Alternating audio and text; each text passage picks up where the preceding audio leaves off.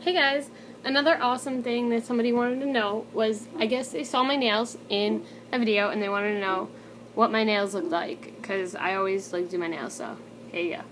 I did a cool zipper design so I'll kind of show you. It's like zipping into another color. See? Like it? Haha. I could always do some cool nail designs for you guys. I love doing my nails. And um, I have like literally every single color of the entire freaking rainbow. So I love doing nails. So those are my nails for whoever asked that. I saw the comments. So yeah, here you go. All right, bye.